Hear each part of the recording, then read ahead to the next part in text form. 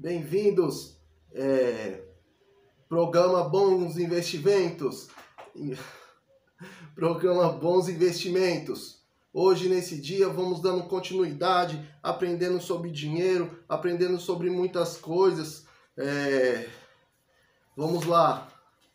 Vamos esperando as pessoas chegarem. Tomar um pouquinho de água. Não se esqueça de é, inscreva-se no meu Instagram, no meu Instagram, henrique.o.santos. Por lá você fica de, de por dentro e conheça um pouco mais da minha vida pessoal, do que eu faço no meu dia a dia. Não se esqueça de se inscrever no canal, é muito importante. Já vai pegando papel e caneta, porque a gente vai falar de coisas muito importantes aqui. É, compartilhe esse link para o máximo de pessoas que vocês puderem. Compartilha para todo mundo.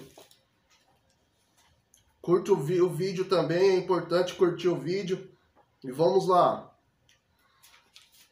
Vamos lá. Vamos esperar mais um pouco.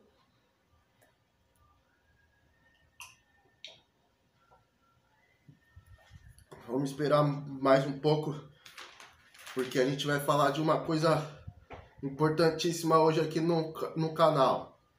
É, já fica preparado, já pega aquilo que você precisa pegar.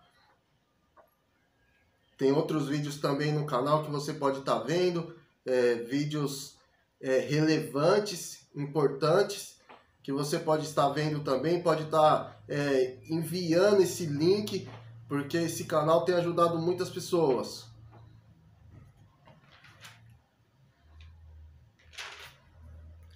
Bom, hoje eu vou falar sobre sete maneiras de economizar. A gente vai aprender é, como economizar, como a gente é, gasta o nosso dinheiro e de uma maneira que seja aquilo só que a gente realmente precisa e também para economizar também para ficar é, com dinheiro no bolso, né? Primeiro, faça uma planilha com gastos. Então, pega uma planilha e põe todos os gastos que você tem, né? Gastos também com cartão de crédito. Se você usa muito o cartão de crédito ou se você usa o cartão de crédito, é importantíssimo você fazer uma planilha e colocar tudo aquilo que você é, gasta nessa planilha. Tudo que você comprou no mês. Isso é importante também. Tudo aquilo, exatamente tudo que você comprou no mês, você põe uma planilha. Você põe uma planilha para você entender é, para onde está indo o seu dinheiro. Todas as contas que você pagou. Isso também. Todas aquelas contas que você pagou, você põe na planilha, centavo por centavo. Faça faça isso todo mês e vê se está tendo desperdício de dinheiro.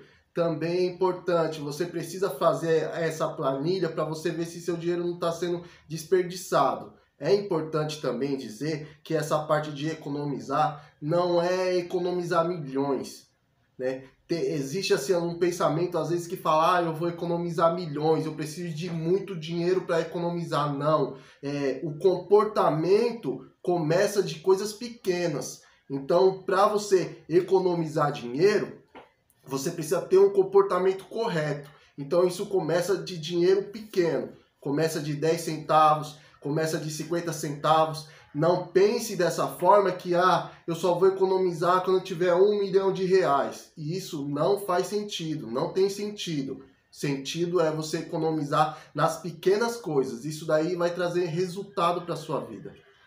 Entendeu? Dois, segundo agora. Pega transporte público de vez em quando. De vez em quando, se você puder, pega um transporte, é, não pega transporte público. Não pega. Né? Não pega. Se você puder, não pega transporte público. De vez em quando você vai a pé, você vai andando a pé. Se você para ir até um lugar, a distância percorrida é de 5, 6, 7 quilômetros, você consegue ir a pé três ou quatro vezes por semana. Se você tem uma distância eh, se você vai no supermercado e não vai trazer muita coisa, ou se você vai numa loja, ou se você vai para o trabalho e essa distância é de 5, 6, 7, até 10 quilômetros, se for entre 5, 6 e 7 quilômetros, é possível a pessoa ir a pé três vezes na semana. Se for uma distância de 10 quilômetros, é, você consegue ir a pé uma, duas vezes no mês. Então é possível sim fazer isso e a pé. Né? Então, é, para economizar, economiza no transporte também. São coisas pequenas que vai realmente fazer a diferença é, no, seu, no seu dinheiro. Você compra, você vai no, no supermercado e lá é, o preço tá um. Aí você vai no supermercado, a diferença é de dois reais. É muito importante a gente entender que economizar dois reais no supermercado é importantíssimo. Aquela sacola que você usa no, no supermercado, se você economizar ela, se você tem lugares que é, você precisa pagar para levar a sacola, mas se você comprar uma sacola e ir para o supermercado com essa sacola, vai fazer uma diferença muito gigante é, no seu orçamento no fim do mês. Porque você pode comprar uma sacola de um real, de dois reais. Aí você fala, poxa, dois reais e um real não é nada. Faz essas contas durante um ano. Faz essas contas durante dois, três anos. Veja o quanto você gastou comprando sacola que você não precisava comprar, né? Essa é a dica número dois. A número 3, compre só o que você realmente precisa. Compra aquilo que realmente você está precisando. Então, é, seja roupa, seja qualquer coisa, você tem que comprar aquilo que você realmente precisa. Você não pode ficar gastando o seu dinheiro é, de uma forma errada, né? Isso, é, é, é isso de economizar também é muito importante. Não compre coisas exageradas quando for no, super, no supermercado. Então, quando você for no, no supermercado, não compra coisa exagerada. Ah, eu vou comprar, é, fazer compra para três meses. Não, não faça isso. Não faça isso. Ou eu vou comprar muita comida. Não faça isso. For no, supermercado, não, vai não vá com fome também, porque isso faz você é, gastar mais e às vezes você compra coisas que nem precisa. Então essa parte de é, ir no supermercado e saber economizar é importantíssimo também, né? É importantíssimo você saber disso. Vamos lá. Agora a quarta dica é pense antes de gastar, não compre tudo o que vem na sua mente. Quando você vai no, quando você vai numa loja, quando você sai de casa, Hoje a gente é, é, tem cartão de crédito, hoje a gente usa o dinheiro na carteira, o dinheiro está muito disponível assim para a gente, é muito fácil hoje o meio de, os meios de pagamento. E aí você às vezes não tem dinheiro na, na carteira, mas tem dinheiro no celular ou em algum aplicativo. E aí você vai na loja e você vai comprando coisas às vezes que não precisa. Então pense antes de gastar e o pensamento correto é: será que realmente eu estou precisando disso? Será que realmente isso vai me ajudar? Então é dessa forma que você tem que pensar, né? Se realmente isso vai ajudar você, né? Pense antes em comprar roupa, em comprar tênis, em comprar qualquer tipo de coisa. Agora é a quinta dica modele pessoas que gastem menos. Então, modelar é fazer aquilo que a pessoa faz. Então, modela pe pessoas assim que gastem menos. Modela pessoas que sabem lidar com o dinheiro, né? Ah, mas isso não vai ser uma coisa para sempre. Não é uma coisa assim para sempre. Vai ter um momento da vida que você vai falar assim: não, hoje eu vou tirar o dinheiro para fazer isso, para comprar isso. Então não é, por exemplo, ah, você tem dinheiro e você não vai poder comprar aquilo que você quer comprar. né? Uma coisa no supermercado, um tênis, não. Isso aí você tem que, isso aí tem que ser de tempo. Primeiro você economiza e depois você pensa, pô, realmente eu quero isso. Daqui um ano eu compro. É assim que funciona. Economizar é assim. É.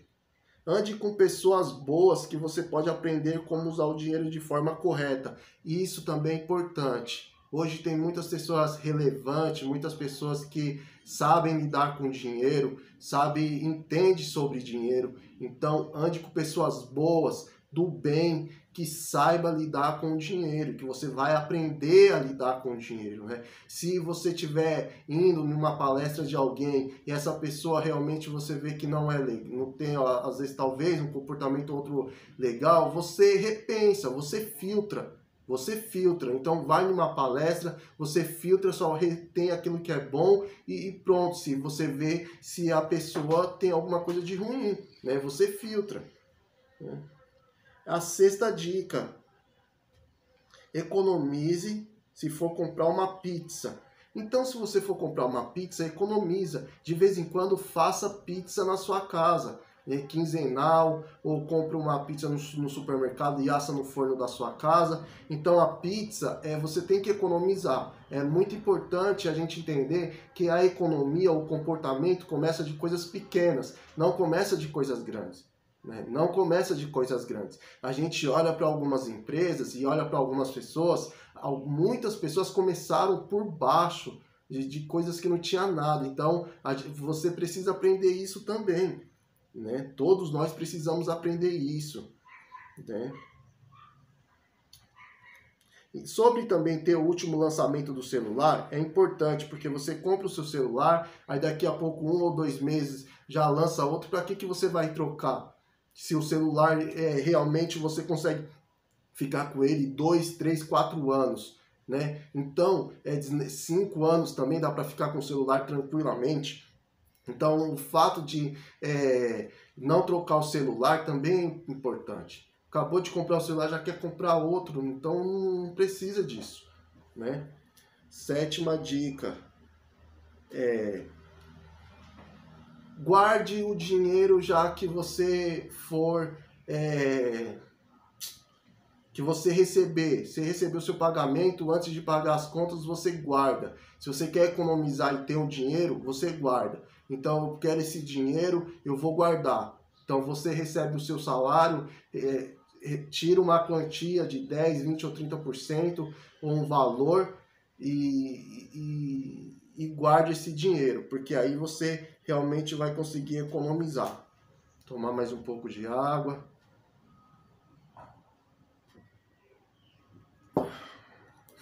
Essa é a sétima dica. Bom, é, por hoje é isso. Eu desejo paz, fiquem com Deus e até o próximo vídeo.